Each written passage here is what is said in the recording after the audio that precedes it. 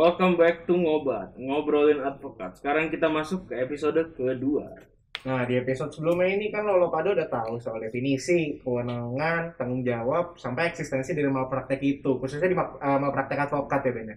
Di episode kali ini tuh kita mau ngomongin soal jenis-jenis malpraktek advokat ini sih. Jadi gimana Ben? Eh, diatur di mana sih sebenarnya nih malpraktek advokat? Sebenarnya kalau buat mau praktek advokat ya, sebenarnya itu yang diatur adalah hal-hal yang harus dituruti dan dijunjung tinggi sama si advokat. Yang berarti kalau emang hal tersebut dilanggar sama si advokat, itu jatuhnya malpraktek advokat nggak sih? Iya betul betul. Setuju. Nah, buat malpraktek advokat itu diatur di UU Advokat sama di Kode Etik Advokat Indonesia. Nah, jadi di episode ini tuh kita bakal nge-breakdown ketentuan-ketentuan yang ada di UU Etik Advokat, eh, UU Advokat sama Kode Etik Advokat. Nah, bener banget. Kalau dari Undang-Undang Advokat ini sendiri, itu kan Undang-Undang nomor 18 tahun 2003. Spesifiknya itu sebenarnya ada di pasal 6, tapi mereka nggak ngatur secara eksplisit, nggak secara langsung. Tapi diatur itu secara nggak langsung. Eh, jadi ada ketentuannya itu berbunyi demikian kayak gini sih. Eh, bukan berbunyi, sorry. Eh, dia nge-point out apa-apa aja sih yang sebenarnya eh, bisa membuat seorang advokat itu ditindak gitu. Yang pertama itu mengabaikan atau menelantarkan kepentingan kliennya. Kedua, berbuat atau bertingkah laku yang tidak patut terhadap lawan atau rekan seprofesinya.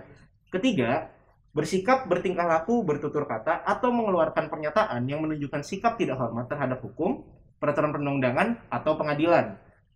Keempat, berbuat hal-hal yang bertentangan dengan kewajiban, kehormatan, atau harkat dan martabat profesinya. Kelima, melakukan pelanggaran terhadap peraturan perundang-undangan dan atau perbuatan tercela. Dan yang terakhir itu ada melanggar sumpah atau janji advokat eh, dan juga eh, pelanggaran atas kode etik advokat. Tapi menurut lu ketentuan-ketentuan yang ada di Undang-Undang Advokat tersebut gimana sih, Nar?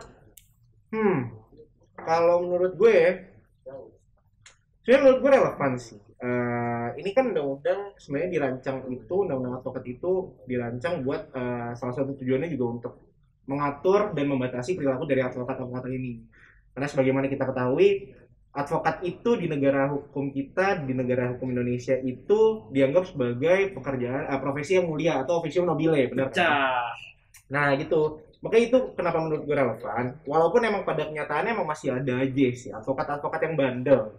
Tapi selama penindakannya tegas, undang-undang ini sih eh, relevan gitu menurut gue.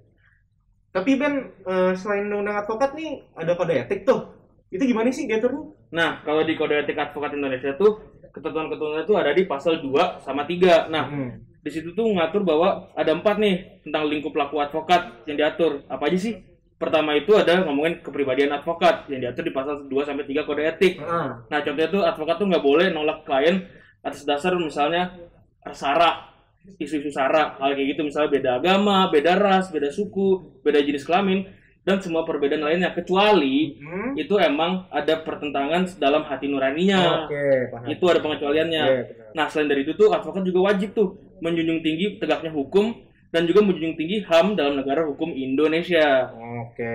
Nah, selain dari itu juga ada tentang hubungan dengan klien yang diatur dalam pasal 4 kode etik tersebut. Misalnya mengutamakan selesainya sebuah perkara perdata itu harus diutamain dikelarin secara perdamaian tersebut, bukan langsung apa-apa berat-berat berat persidangan. Iya. Nah, dan untuk penentuan biaya jasa advokat itu tersebut, tersebut harus juga tuh disesuaikan sama kemampuan finansial dari si klien tersebut. Jadi nggak bisa asal ngotok harga tinggi misalnya kayak kasus tere tapi lo ngotok harga lawyernya kayak 2M gitu. Iya, harus 2M sesuaiin gitu juga kan tuh. nggak bisa tuh. Kan belum- misalnya nih, misalnya lu punya klien yang say secara finansial tuh ekonominya menengah nih, Hmm. tapi lu tagihnya nih jasa gua harganya 10M.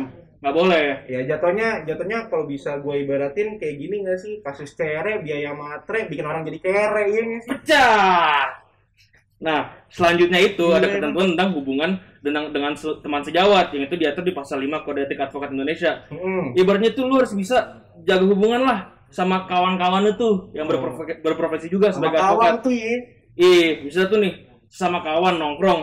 Ya lu jangan sampai ada lah cekcok-cekcok yang sampai lu berdua nih sesama advokat Hmm. jadi saling benci, saling nggak mau temenan dan juga akhirnya dan juga malah saling ngejatuh-jatuhin sesama advokat. Itu juga It- masuknya udah melanggar dari uh, kode etik itu sendiri juga. Ih, berarti.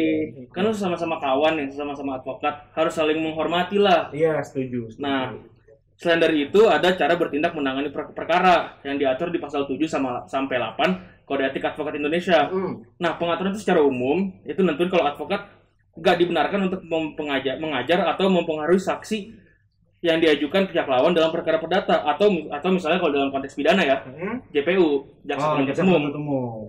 Nah, ada juga yang kalau advokat itu nggak boleh beriklan sebatas untuk menarik perhatian, termasuk memasangkan papan nama dengan ukuran dan atau bentuk yang berlebihan. Itu yang jadi bikin kayak nyadar nggak sih? Nggak pernah ada iklan-iklan apa law firm yang gede yang misalnya pelangnya gede, nama billboard apa? gitu ya, Dan pernah emang ada sih, cuma buat sebatas, iya kan? Cuma buat sebatas lihat. iklan-iklanan doang. Enggak, karena emang itu diatur, emang nggak boleh. Kalau Emang buat mengiklankan tuh cuma sebatas lu mau narik attention orang.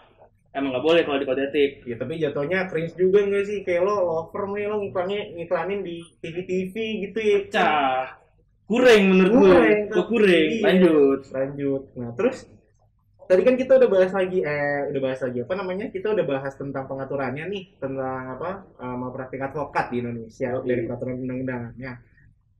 Kalau realitanya tuh sebenarnya eh, prakteknya tuh apa sih yang kejadian beneran nih kayak yang dilakuin sama advokat-advokat di Indonesia apa yang mereka langgar dari undang-undang advokat atau misalnya kayak juga gitu loh kode etik advokat Indonesia Nah, contoh nyatanya tuh ada ada suatu law firm ternama nih yang kantornya di daerah Sudirman. Mereka tuh pernah digugat sama perorangan karena mereka ngasih pertimbangan hukum yang salah lah dalam suatu perjanjian bisnis. legal opinion gitu jatuhnya nggak sih Bisa dibilang gitu. bisa dibilang gitu ya Nah, selain dari itu juga ada kasus Ojek Kaligis yang Ah. lawyer yang apa sih isu kriminalisa- kriminalisasi JIS itu kan? Oh yang dia ini nggak sih nyuap hakim? Dia Oh, yang itu. nyuap hakim petun pas Oh, itu parah Nah, itu. Sama. krusial. Ada satu lagi tuh tentang si apa siapa namanya? Sulaiman Joyo Atmojo nih. Dia tuh terbukti bersalah melanggar kode etik advokat Indonesia pas dia ada proses peradilan ini PKPU PT Mahakarya Agung Putra. Mm-mm. Kenapa? Karena dia menerima suap sebesar 90.000 ribu dolar Singapura. Oh buset dah. Hitung hitungnya, hitung aja tuh berapa deh? Nah, coba menurut lu dari salah satu kasus itu tuh apa menurut lu Nar? Kalau menurut gue ini jadi salah satu problema juga yang gue lihat ya. Em, emang kesalahan, misalnya kayak dalam firma hukum yang tadi digugat tuh, misalnya eh, mereka punya kesalahan dalam bikin pertimbangan hukum atau legal opinion. Itu menurut gue harus banget dilakuin dengan amat sangat teliti, harus meticulous gitu loh menurut gue. Eh, tapi balik lagi sih, mungkin kliennya juga emang nggak knowledgeable, nggak punya pengetahuan yang memadai eh, buat nafsirin dari apa yang dituliskan dalam legal opinion atau pertimbangan hukum itu kan Iya. jadinya eh, kontradiktif juga jadi kayak gimana ya eh, imbasnya jadi ke relasi bisnisnya dia juga sebagaimana yang dituliskan dalam kontrak bisnis si kliennya ini si penggugatnya ini Hmm. gitu Nah itu menurut gue tuh jadi hal yang menarik buat dibahas karena misalnya ada dua perspektif yang berbeda nih. Tapi kalau menurut gue ya, selama advokat-advokat di law firm tersebut emang udah bikin pertimbangan sampai misalnya nih bisa bikin pertimbangan hukum yang kesannya ambiar dalam arti bener-bener nggak masuk akal. Ya jatuhnya mereka luput dari aspek menjunjung tinggi kebenaran hukum gak sih? Karena bagaimun bagaimana mana caranya, mereka tuh udah dibayar buat jasanya dalam memberi bantuan hukum. nah itu dia Ben gue sebenarnya gue setuju nih sama pendapatnya Benny nih emang Pecah. pecah banget nih Eh, tapi lu penasaran gak sih kayak gimana caranya advokat-advokat bandel ini tuh ditindak gitu ketika, mereka melanggar aturan-aturan yang udah mengatur peraturan undang-undangan yang udah mengatur bagaimana mereka berperilaku dan membatasi Iya. dan dilanggar itu tindakannya gimana gitu konkretnya gitu Nah, iya. sih, Wah, lu lihat lu lihat jam dulu dah di laptop. Eh buset dah Udah udah habis nih waktu kita nih, sorry Iya, banget udah nih. habis nih sorry banget Berarti buat masalah penindakan-penindakan dari advokat-advokat bandel itu kayaknya nggak bisa kita yang cover deh. Jadi nanti stay tune aja di episode berikutnya ya. Benny and Lenny signing out. bisa Stay safe.